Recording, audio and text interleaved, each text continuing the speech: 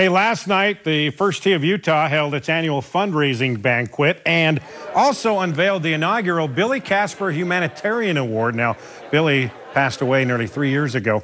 Billy won a Masters and two U.S. Opens and always was there to help kids. So, this is to honor him. The first Casper Humanitarian Award going to sisters Jasmine and Asia Lee as they started a foundation called Girls on Par, which raises money and collects golf clubs to give to young girls so they can enjoy golf with their friends. It's an awesome project.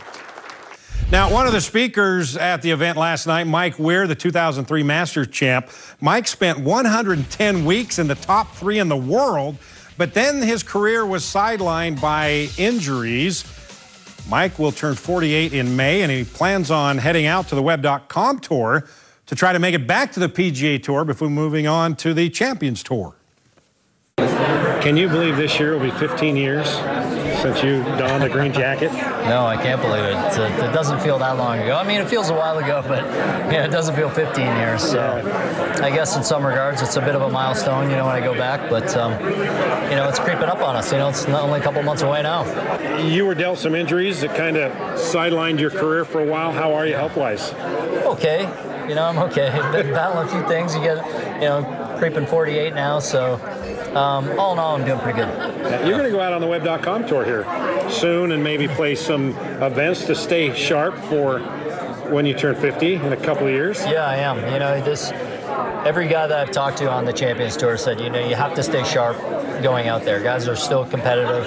Um, you know, I can't expect to not play for a couple years and get out there and, and not be ready. So um, and at the same time, I'm still motivated, you know, still motivated to try to get back on the tour next year. You know, I'd love to get out there on the web and play well and get in that top 25 and, and play a full year on the PGA Tour next year. This has got to be a major challenge for you to get on the web.com tour and to try to make the top 25 so you can get back out on the tour.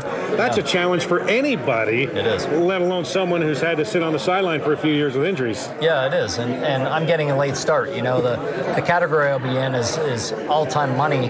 When you turn 48, there's a category for that. Yeah. And, but I don't turn 48 until May. So the, these guys have already had all these events, money built up you know, I'm, I'm starting from behind, but um, you know, if I have a really good summer, you know, I can I can cruise right in there, hopefully to that top 25, and they have that, you know, those playoff events in September, those four playoff yeah. events, and hopefully I'll be, and that's what I need, Rod, is to play a regular schedule and play some events. I think I played six or seven events last year. You can't. It's really hard to stay sharp when you only play few and far between. You need consistency of playing week to week.